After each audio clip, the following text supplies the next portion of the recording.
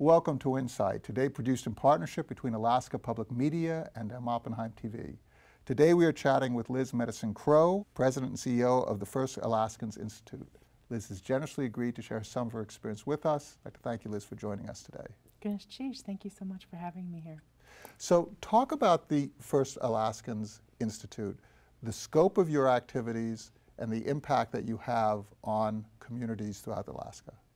Well, First Alaskans Institute is a really unique organization, one that we are daily involved with thinking more deeply about how we are, as an Indigenous organization, helping to shape the aspirations and the dreams of our Alaska Native community. Our vision for our organization, which I think is both profound and practical, while a lot of people have a hard time putting handles on what it means, uh, for us as Indigenous peoples in this place in Alaska, our homelands, uh, it just really makes sense. And that vision is progress for the next 10,000 years. So our work is focused in some really incredible areas leadership development. Uh, we have an Alaska Native Policy Center, organizational advancement, and community engagement. What does that mean? It means that we're involved in helping um, to steward the dreams, the hardships and challenges of our community, and really trying to put legs on those by growing young people, um, adults, and elders um, in ways that they want. We host an Elders and Youth Conference every year, brings together about 1,200 uh, young people and elders from across the state and it, it's their dreams and aspirations that we're trying to catalyze and also try, trying to be in service to. That transmission of knowledge is a two-way street. Maybe, well, I should say more like a four-way street because we're talking about the knowledge that our elders have for our young people and something that our elders tell us that they cherish about the conference is that they get to learn from our young people as well. So the young people are transmitting their knowledge back to our elders.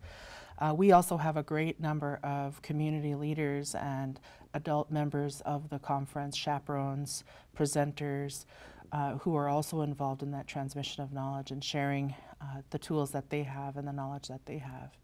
And on top of that, we have the community. Uh, the community is involved in, in many different ways in the conference, from our arts and crafts vendors to um, to the people who come forward, like our Alaska Native veterans and American Indian veterans, always play a part and always play a role. So it's, uh, it's, it's not just uh, bilateral, it's multilateral. You also operate a nonprofit, a 501c3 IRS tax code operating entity with, so we have all this philosophy, but you, you go into the office tomorrow and you sit down and you have some objectives. So, so talk about how the, the practicalities, the daily work that you also do right. in order to preserve something that has nothing to do with an IRS code or forms or, or, or any of that. Right.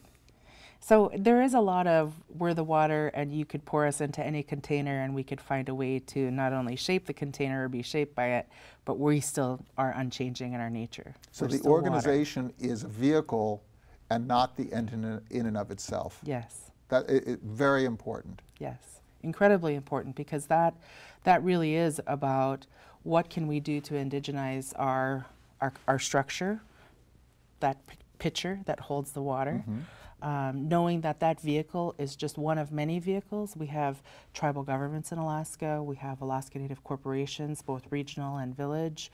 We have uh, regional nonprofits. We have other nonprofits that are advocacy-based organizations. Um, we have the Alaska Federation of Natives, an incredibly unique organization um, that's, that, that works as an advocacy organization. Um, we have all of these different vehicles, and, and yet driving those vehicles are other Alaska Native people who hold the same kinds of things to be true, no matter how diverse we are. That is actually one of our greatest strengths, that we are that diverse, and yet we also hold these shared values. So talk about some of those uh, programs that you have and how you divide up your areas of activity. Sure. So we have um, growing uh, Alaska Native leaders as So one of our core. building? Yep. Um, one of our core initiatives, and that's you know, that's about cultural connection, understanding who you are and your role in a collective community, which is a lot different in terms of philosophies from what is best for you Right. and um, uh, the, pr- their professional development and career goals, and again, coming back to the community, um, being in service to advance all of us into the future. So, really, it's a leadership continuum from young people to adults to elders. Uh, we have a policy center where core to us is that Native minds shape the future. On the issues that impact our communities, are Native people leading the decisions. So, um, in multiple different forums and in multiple different ways, we're using our ability to be a catalyzer, a convener, and a host on very difficult topics um, so that our Native people can come in and be the ones that shape that vision. So in terms of, of the relationship of, of the First Alaskans Institute to uh, people who are non-First Alaskans, um, how does that function? What kind of a role do you play? Or are you mostly focused on, on these, this set of issues within the community, and you leave those other issues where um, the interests of uh, First Alaskans intersect with, uh, with other interests to, to others? I love that question because that's actually one of the core pieces of our work is we really strive for collaboration and partnership with non-native um, entities organizations and people um, core to our project is actually for the alaska native dialogues on racial equity project is a visionary council and a host group um, and it's made up of multiple different people from multiple um, backgrounds ethnicities heritages um, and experiences and they're volunteers in the community and they guide the way that this moves forward. Uh, we publish a magazine in our community engagement initiative.